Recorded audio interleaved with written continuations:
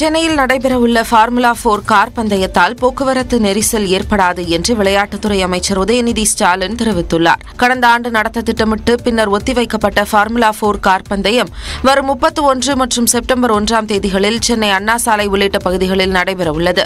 போட்டியை பார்வையாளர்கள் கண்டு ரசிக்க ஆயிரத்து தொள்ளாயிரத்து தொன்னூற்று ஒன்பது ரூபாய் முதல் பத்தொன்பதாயிரத்து தொள்ளாயிரத்து தொன்னூற்று ஒன்பது ரூபாய் வரை கட்டணமாக நிர்ணயித்து தமிழ்நாடு விளையாட்டு மேம்பாட்டு ஆணையம் அறிவித்துள்ளது. இந்த நிலையில் ஃபார்முலா சிங்கப்பூர் கார் பந்தயத்திற்கான முன்னேற்பாடுகள் தொடர்பாக தலைமை செயலாளர் மற்றும் அனைத்து துறை அதிகாரிகளுடன் விளையாட்டு மேம்பாட்டுத்துறை அமைச்சர் உதயநிதி ஸ்டாலின் ஆலோசனை நடத்தினார். அப்போது ஃபார்முலா போர் கார் பந்தயத்துக்கான முன்னேற்பாடுகள் பாதுகாப்பு அம்சங்கள் உள்ளிட்டவை குறித்து விரிவான ஆலோசனை மேற்கொள்ளப்பட்டது. பின்னர் செய்தியாளர்களிடம் பேசிய அமைச்சர் உதயநிதி கார் பந்தயத்தால் எந்த வகையிலும் போக்குவரத்து நெரிசல் ஏற்படாது என்று கூறினார். சனிக்கிழமை மதியத்துக்கு மேலே குவாலிஃபைங் ரேசஸ் ஆரம்பிக்கும் ஆரம்பிக்கும். நைட் ரேஸ் ஒரு கிட்டத்தட்ட ஒரு பத்து பத்தரை மணி வரைக்கும் ரேஸ் நடக்கும்.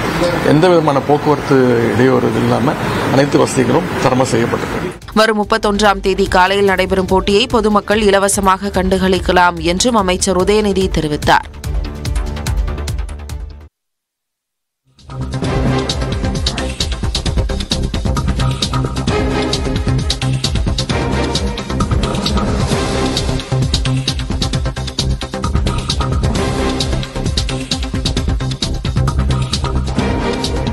செய்யாறு அருகே தனியார் பேருந்தும் வேனும் மோதிக்கொண்ட விபத்தில் முப்பது பேர் காயமடைந்திருக்கிறார்கள். அதனை அண்மை செய்தியாக பார்க்கிறோம். தனியார் கம்பெனிக்கு தொழிலாளர்களை ஏற்றிச் சென்ற வேனும் தனியார் பேருந்தும் மோதிக்கொண்டிருக்கின்றன. இதில் பயணம் செய்த முப்பது பேர் காயமடைந்திருக்கிறார்கள்.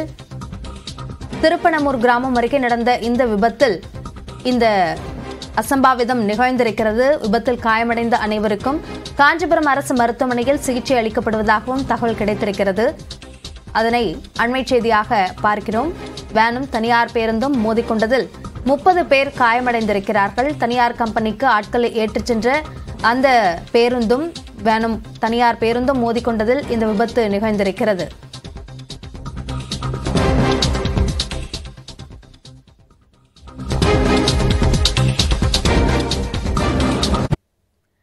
கிருஷ்ணகிரியில் பாலியல் வழக்கில் சிக்கிய சிவராமனும் அவரது தந்தையும் அடுத்தடுத்து உயிரிழந்தது சந்தேகத்தை ஏற்படுத்துவதாக பல்வேறு கட்சிகளின் தலைவர்கள் குற்றம் சாட்டியுள்ளனர். ஆனால் தங்களுக்கு சந்தேகம் இல்லை என்று சீமான் தெரிவித்துள்ளார். மாணவிகள் பாலியல் வன்கொடுமை செய்யப்பட்ட வழக்கில் சிறப்பு புலனாய்வு குழு விசாரணை தொடங்கும் முன்பே குற்றம் சாட்டப்பட்டவரும் அவரது தந்தையும் உயிரிழந்திருப்பது சந்தேகத்தை ஏற்படுத்துவதாக எதிர்க்கட்சித் தலைவர் எடப்பாடி பழனிசாமி தெரிவித்துள்ளார். பல்வேறு கேள்விகளுக்கு பதில் கூற வேண்டிய சிவராமன் தற்கொலை செய்து கொண்டதாக கூறுவதன் மூலம் உண்மை குற்றவாளிகளை காப்பாற்ற முயற்சி நடக்கிறதோ என்ற சந்தேகம் எழுவதாக அவர் குறிப்பிட்டுள்ளார். ஏற்கனவே ஆம்சாங் கொலை வழக்கில் முக்கிய குற்றவாளி என்கவுண்டர் செய்யப்பட்டதற்கே அரசிடம் இருந்து உரிய பதில் வரவில்லை என விமர்சித்துள்ள எடப்பாடி பழனிசாமி. கிருஷ்ணகிரியில் தந்தையும் மகனும் உயிரிழந்தது. காவல்துறை நடத்தும் நாடகமா என்ற சந்தேகம் ஏற்பட்டுள்ளதாக கூறியுள்ளார். பாஜக மாநில தலைவர் அண்ணாமலை வெளியிட்டுள்ள எக்ஸ் பதிவில் ஏற்கனவே கடந்த மாதம் சிவராமன் எலிமருந்து சாப்பிட்டு தற்கொலைக்கு முயற்சி செய்ததை பயன்படுத்தி பாலியல் குற்றத்தில் தொடர்புடைய வேறு யாரேனும் முக்கிய புள்ளியை காப்பாற்ற சிவராமன் எலிமருந்து சாப்பிட்டதால் மரணமடைந்து விட்டார் என கூறப்படுகிறதோ என்ற கேள்வி வலுப்பதாக குறிப்பிட்டுள்ளார். இதேபோல திமுக கூட்டணியில் இடம்பெற்றுள்ள மார்க்சிஸ்ட் கம்யூனிஸ்ட் கட்சியின் மாநில செயலாளர் பாலகிருஷ்ணனும் இருவரின் உயிரிழப்பு சந்தேகத்தை ஏற்படுத்தியுள்ளதாக தெரிவித்துள்ளார். வழக்கை சிபிசிஐடி வசம் ஒப்படைக்க வேண்டுமென தமிழ்நாடு அரசுக்கு அவர் வலியுறுத்தியுள்ளார். அப்போ கைதாகிறதுக்கு முன்னாடியே விஷம் சாப்பிட்டு இப்போ போய் வேலை செஞ்சுதா?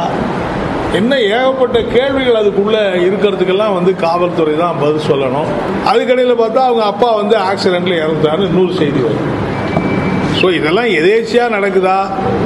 அல்லது வேற ஒரு திட்டமிட்ட ஒரு குற்றவியல் பின்னணியோட நடக்குதாங்கிற பல சந்தேகங்களுக்கு வழிவகுக்குது.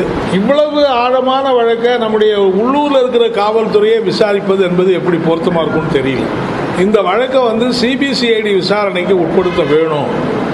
அப்படிங்கிறத நான் மீண்டும் வற்புறுத்த விரும்புகிறேன் காங்கிரஸ் எம்பி கார்த்தி சிதம்பரம் வெளியிட்டுள்ள எக்ஸ் பதிவில் கிருஷ்ணகிரி மாணவி பாலியல் வன்கொடுமை வழக்கில் கைதான சிவராமனும் அவரது தந்தையும் அடுத்தடுத்து மரணமடைந்திருப்பது பல கேள்விகளை எழுப்புவதாக குறிப்பிட்டுள்ளார்.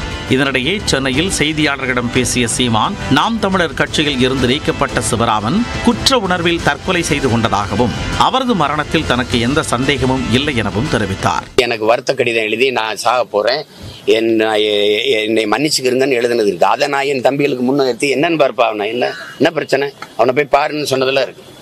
அப்ப அவனுக்கு வந்து அது அது- அவர் அவர் செஞ்சிருந்தது வந்து செஞ்சது தவறுன்னு அவருக்கு பட்டு தான் அவர் அந்த முடிவு எடுத்துட்டார். அதனால் எங்களுக்கு சந்தேகம் இல்லை யாரோ ஒருத்தர் பின்னாடி இருந்து அதை இது பண்ணிட்டாருலாம் இல்லை அப்படி இல்லை.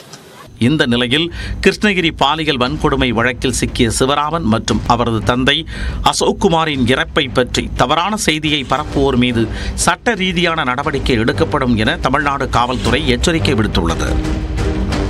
கிருஷ்ணகிரி பாலியல் வழக்கில் குற்றம் சாட்டப்பட்ட சிவராமன் மற்றும் அவரது தந்தை மரணத்தில் சிலர் குழப்பம் ஏற்படுத்த முயற்சிப்பதாக சட்டத்துறை அமைச்சர் ரகுபதி குற்றம் சாட்டியுள்ளார். வெவ்வேறு சம்பவங்களை முடிச்சு போட்டு இப்பொழுது ஒன்றாக பார்க்கிறார்களே தவிர வேறொன்றுமில்லை. அது வேறு சம்பவம் இது வேறு சம்பவம். எனவே இதில் வந்து ஆளுங்கட்சி வந்து எதுவுமே செய்ய வேண்டிய அவசியம் கிடையாது. நீங்களே சொல்கிறீங்க ஒருத்தர் மருத்துவமனையில் இறந்திருக்கிறார். அவர் வந்து கைதாவதற்கு முன்பாலே விஷம் சாப்பிட்டிருக்கிறார் என்கின்ற குறிப்பு அதில் இருக்கிறது. எனவே அதுக்கு பிறகு அவரை வந்து மருத்துவமனையில் சேர்த்திருக்கிறார்கள். அதற்கு பிறகு அவர் இறந்திருக்கிறார். இன்னொருவர் விபத்தில் இறந்திருக்கிறார். ஸ்கூட்டர் விபத்தில் இறந்திருக்கிறார். யாரும் போய் மோதி இறக்கலை. ஏன்னா ஸ்கூட்டர் விபத்தில் அவர் இறந்து இறந்திருக்கிறார். எனவே ரெண்டும் வெவ்வேறு ஆனால் ஒரே குடும்பத்தைச் சேர்ந்ததால் அதை வந்து முடிச்சு போட்டு பார்க்கிறார்கள். இதுவும் ஒட்டத்தலைக்கும் முழங்காலுக்கும் போடுகிற முடிச்சு தான் எங்களை பொறுத்த வரைக்கும் நாங்கள் எந்த குற்றவாளியையும் காப்பாற்ற வேண்டிய அவசியம் எங்களுடைய தலைவர் தளபதிக்கு தளபதிக்கு கிடையாது.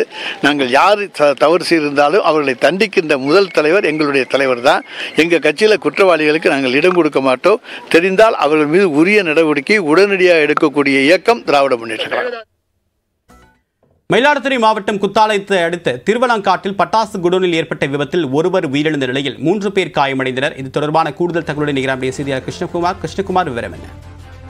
ஆ, தேவா மயிலாடுதுறை மாவட்டம் திருவாலங்காடு கிராமத்தில் சற்று நேரத்துக்கு முன்பு ஏற்பட்ட கொடூர கொடூர வெடி வெடி விபத்தில் நான்கு பேர் சிக்கிய நிலையில் அதில் ஒருவர் பரிதாபமாக உயிரிழந்தார்.